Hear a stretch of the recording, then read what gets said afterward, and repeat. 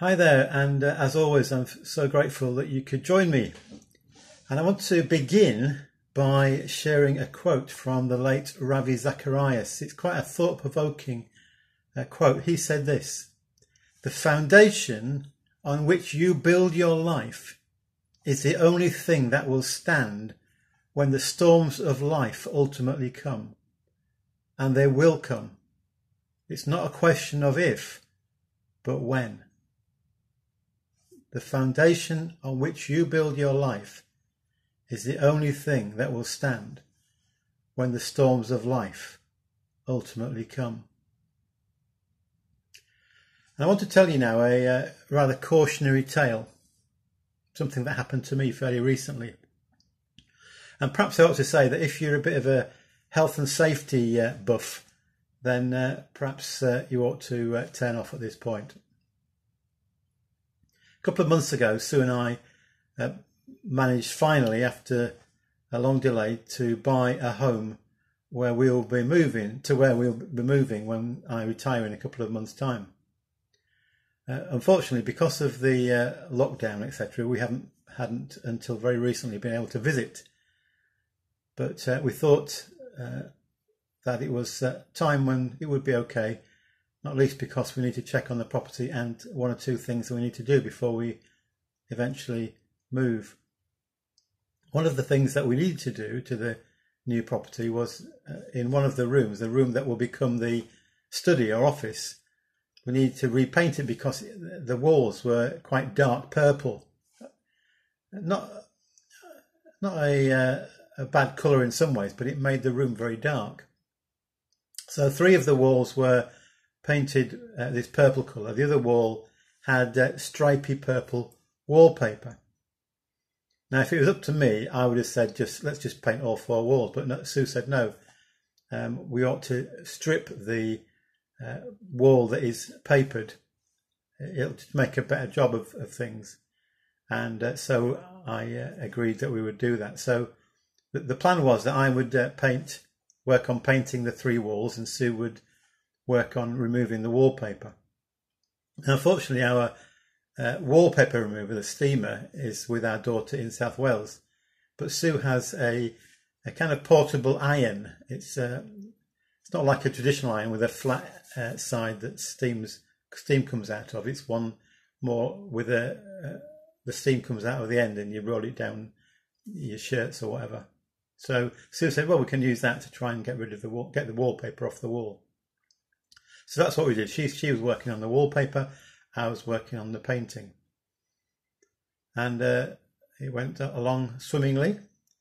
Uh, Sue uh, not only used the steamer to get, try and get the wallpaper off. And once the wallpaper had come off, we realised there was an, uh, a backing paper, a uh, an un- under, underlying coat of uh, paper. Can't remember what you call it now, but anyway, there's more paper underneath, so she had to work on getting off that off as well. Lining paper, that's what it's called. So by the time uh, most of the painting was done, uh, there was a little bit at the top of the wall of lining paper that needed to be removed. So Sue said, I can't reach that very well. Can, can you do it? So even though I didn't really see all that point in taking it off, I, I realised it was the right thing to do. So even though I was quite tired, I thought, I'll give it a go, get rid of this last bit of uh, lining paper off the wall. So by this time, Sue had been using uh, hot soapy water to try and get the remainder of the paper off. And uh, quite a lot of that is on the floor. So it was, there's a bit of a flood on the floor. So anyway, uh, I uh, said, I'll, I'll, get this last bit of paper off. So there was I on this step ladder.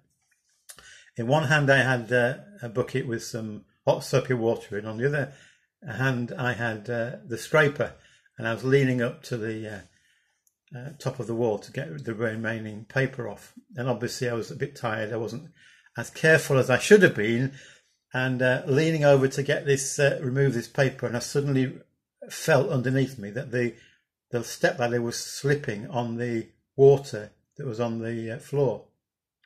And uh, I couldn't do anything to stop myself. And suddenly I was falling and I landed on my back, not only on the floor, but on this uh, steamer, this steam iron thing that Sue's been using uh, I landed with the flat of my back right on there, and it was quite painful. Actually, uh, I feel that I was tremendously fortunate, and I thank God that I didn't do more damage. It's a little bit sore my back still, but uh, I live to tell the tale. And the funny thing was that uh, a little bit later, Sue came uh, to where I was, and she was obviously a little bit upset, and she had steamer uh, iron in her in her hand, and she said, "Look, you've broken this." uh, so uh, through the fall, I'd managed to smash or, or break it, smash it, the, the, plastic. But there you go. It was uh, a silly thing to do. I should have been more careful, but perhaps I was a little bit tired. And the point of that story is that the foundation on which I stood was insecure. Jesus told the story of two house builders one who built his house on the sand and one who built his house on the rock. I remember many years ago speaking to some children and telling them the story of the two house builders. And I asked a question to the children. I said, What do you need before you start building a house? And the answer I expected was uh, the foundations to be laid. But one little boy put his hand up and said, uh, You need planning permission. And of course, that wasn't the expected answer, but I guess that he was uh, right, wasn't he? But Jesus told about uh, the story about the two house builders one who built on the rock, on a firm foundation, and one who built on the sand. And then he said, when the storms came and the wind began to blow and the sea rose, that the house that was built on the sand, uh, the the foundations were no, not strong and the house fell. Whereas the house that was built on the firm foundation stood through the storm. And Jesus finishes that story by saying this Everyone who hears these words of mine and puts them into practice is like the wise man who built his house on the rock. But everyone who hears these words of mine and does not put them into practice is like a foolish man who built his house on the sand. So it's not enough, says Jesus, just to listen to his word. We need to put it into practice. It's not enough to say, I am a Christian, I am a disciple of Jesus, unless we live it out in our lives. And we live in a time, don't we, right now, where there is a storm blowing, a, a coronavirus storm. It's affecting the whole world. And many aspects of our society on which we, we rely are becoming uncertain, unsure. And so many are anxious and wonder what can we rely on any longer? The only firm foundation for life is Jesus Christ. And I'm reminded of that old song that says, On Christ the solid rock I stand, all other ground is shaking sand. And I thank God that that my foundation is on Jesus Christ. And I hope and pray that you too find that firm foundation in Jesus, the only foundation that can never be shaken. God bless you and uh, God bless your day.